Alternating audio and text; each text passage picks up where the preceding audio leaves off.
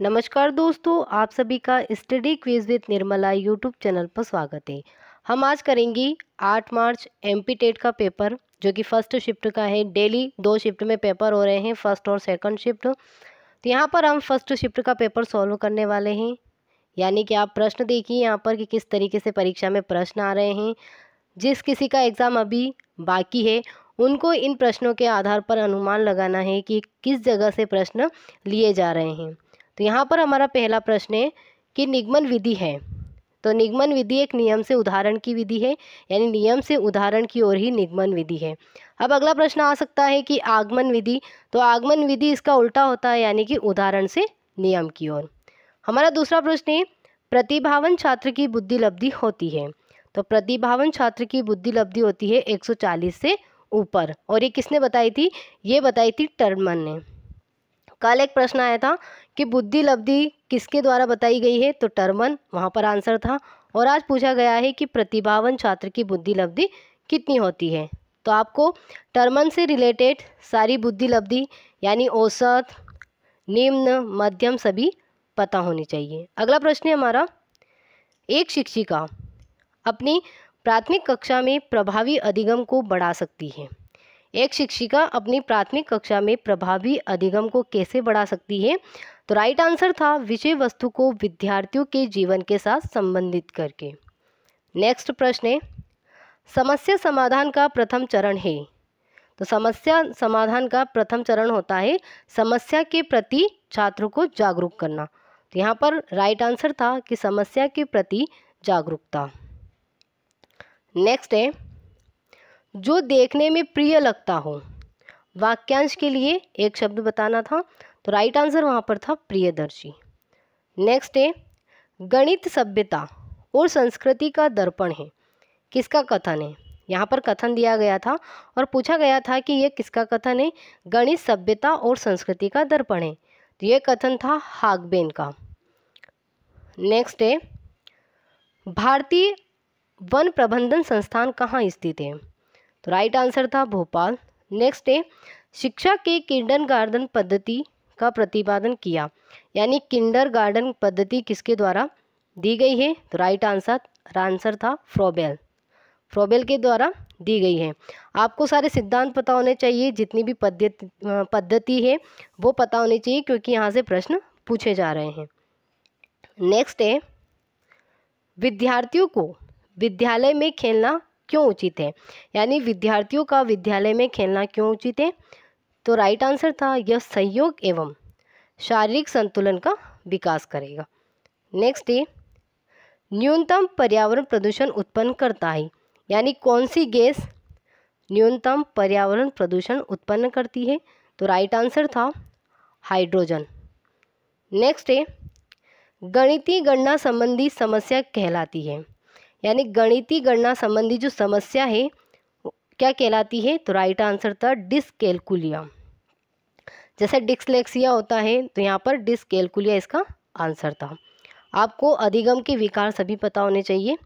सात से आठ विकार बहुत ज़्यादा इंपॉर्टेंट है, जिसमें से एक यहाँ पर पूछा गया है।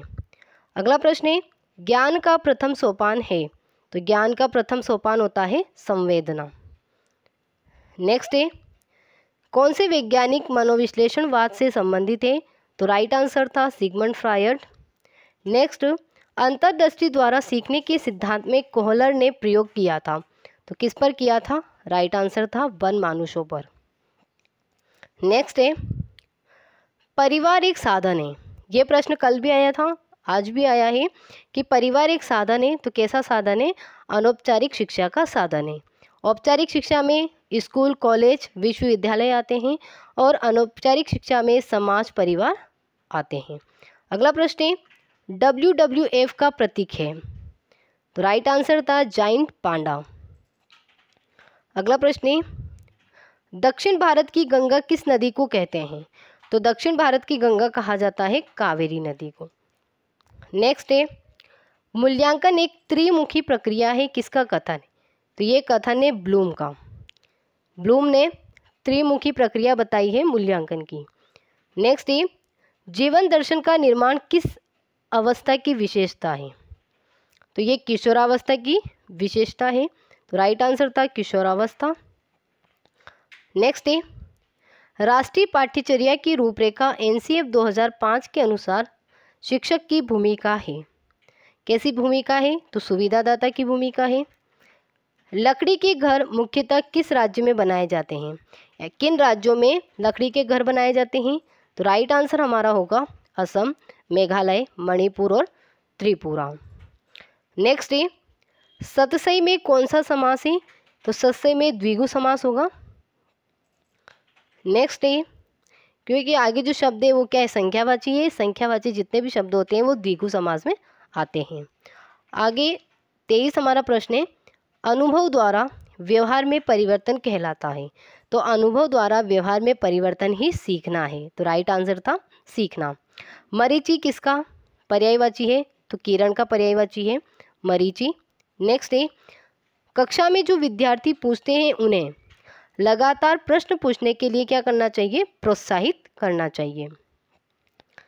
ट्वेंटी सिक्स पंजाबी भाषा की लिपि है। तो पंजाबी भाषा की गुरुमुखी लिपि है। नेक्स्ट है, लाल चींटी की चटनी किस राज्य से संबंधित है? तो ये छत्तीसगढ़ से संबंधित है।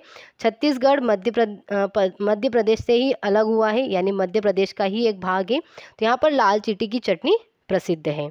अगला प्रश्न है, मानस वन्य जीव अभ्यारण किस राज्य में स्थित है?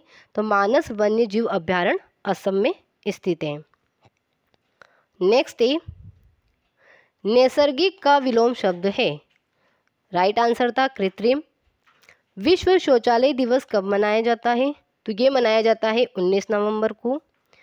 नेक्स्ट प्रश्न है, थर्टी वन, डीआरडीओ। डीआरडीओ से संबंधित प्रश्न कल भी हमने देखा था और आज भी इससे पूछा गया है।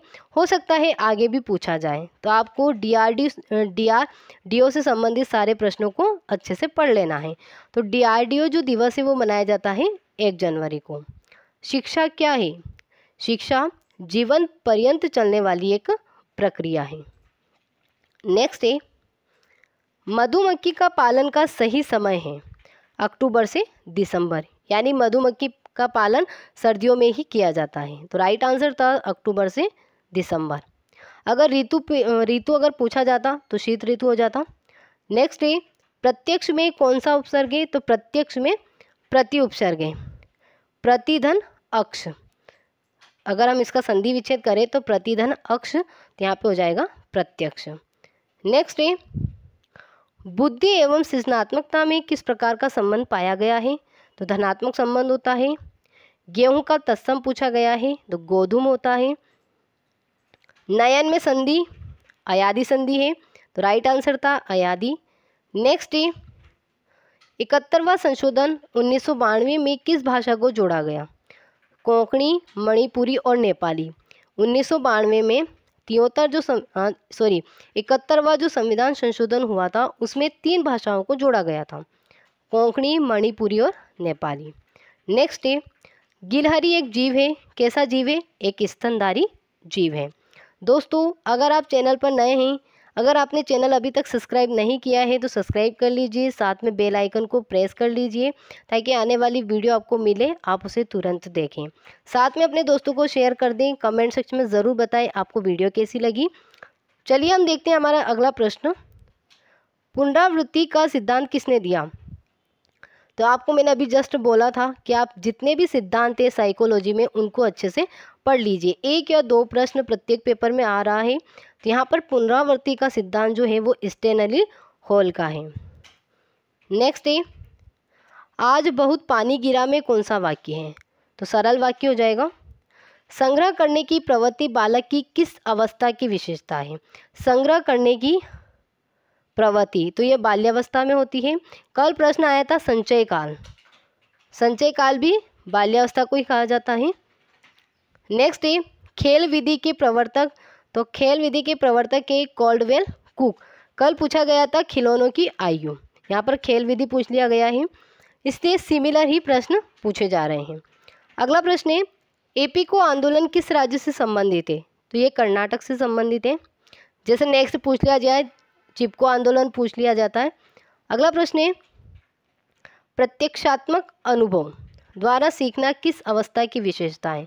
तो ये है शेषवावस्था की विशेषता। नेक्स्ट है शिक्षा के संदर्भ में समाजीकरण से तात्पर्य है।